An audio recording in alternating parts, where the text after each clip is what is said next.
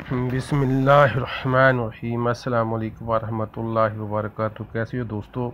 उम्मीद करते हैं खैर वाफ़ी से होंगे। मज़ीद अल्लाह से दुआ है।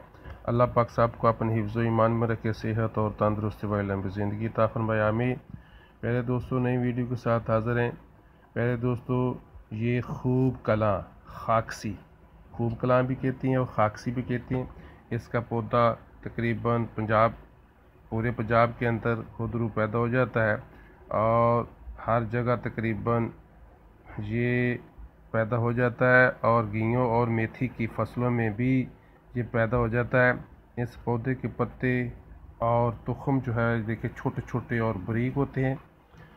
इसके तुखम अगर पानी में भगोए जाएँ तो उसमें जो है वो लेसदार हो जाते हैं, उसमें लेस पैदा हो जाती है। जैके के लिहाज से इसका जैका चरपरा होता है। इसके तुखम जो होते हैं, वो वो काश जो है, उससे भी ज़्यादा बरीक होते हैं। ये देखें। तो प्यारे दोस्तों, इसके बीज जो होते हैं, वो छोटे छोटे होते हैं और जो बाज़ार से, पंसारियों से आम जो है, मिल जाते हैं। इसका पौधे का कद जो होता है, वो एक तक दो मीटर तक ऊँचा होता है। शाखें इंतहाई बरीक बरीक और पतली पतली और मुतफरक होती हैं। इसके अलावा शाखों के आसपास पतली पतली फलियाँ जो हैं वो लगती हैं। इनके अंदर इसका जो छिलका होता है, वो भी इंतहाई बरीक होता है और बहुत पतला होता है। इनमें तुखम या बीज जो है वो पैदा हो जाते हैं, जो इंतहाई बरीक बरीक देखिए, जिसका छिलका छिलका भी बहुत बरीक होता है और उसके तुखम भी बहुत ही बरीक और पतले पतले होते हैं। प्यारे दोस्तों, जी इसके अंदर ये जो तुखम होते हैं, इन्हीं को खूब कला कहा जाता है। प्यारे दोस्तों, ये मजाज के लिहाज से गर्म तर है और मकवी मैदा है। गलबा सफ़रा जो है, उसके लिए ये बहुत मफीद है। इसके अलावा प्यारे दोस्तों, बच्चों की जो ज़्यादा प्यास लगती है, उसके लिए मफीद है।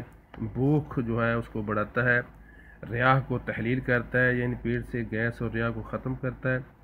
इसके अलावा जो मसामात होते हैं, ये खूब कला इससे इसको खोल देती है। रंग जो है इससे साफ़ हो जाता है, चेहरे का और रंग बहुत साफ़ हो जाता है। इसका लेप जो होता है, आँखों के ज़ख्मों के लिए बहुत मफीद है। इसके अलावा कान की लो के वरम, पस्तानों के वरम और खसिया के वरम जो होते हैं, इसके अलावा नकरस जो है, उसके लिए इसका लेप कराया जाता है, बहुत मफीद है। बलगमी खांसी, नज़ला, ज़ुकाम, खसरा और बुखारों के लिए बहुत मफीद है। प्यारे दोस्तों, ये खूब कलां जो है, पाँच ग्राम जो है, और अनाब छः सात अदद पर सेवशा तीन ग्राम, अंजीर दो ता तीन अदद मनक्का जो है, वो पाँच ता छः अदद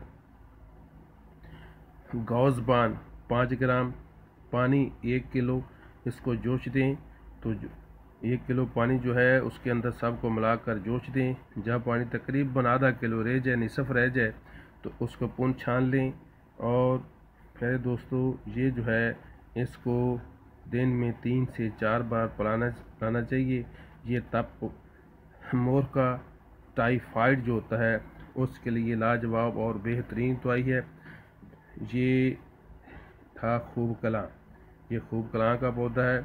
प्यारे दोस्तों, आपको अभी खूब कलाम के पौधे का तारफ़ कराया गया है। अभी जो मैंने आपको दवाई बताई है, ये नज़ला ज़ुकाम बुखारों के लिए बहुत मफीद है। दोबारा मैं दरा देता हूँ इसकी। खूब कलां, ये जो तुखम है, ये पाँच ग्राम। अनाब छः अदद परस्योशा तीन ग्राम। अंजीर दो ता तीन अदद, मनक्का पाँच अदद। इसके अलावा प्यारे दोस्तों, ये जो है गौजबान पाँच ग्राम। पानी एक किलो। जोश दें, जब आधा किलो रह जाए तो इसको पुन छान कर मीठा करके आप ला सकते हैं। ये बुखारों के लिए नज़ला ज़ुकाम। फीवर और टाइफाइड जो बुखार है, उसके लिए बिलखसूस मफीद है। दुआ में याद रखें, फिर हाज़िर होंगे। असलकम वरहमल वर्का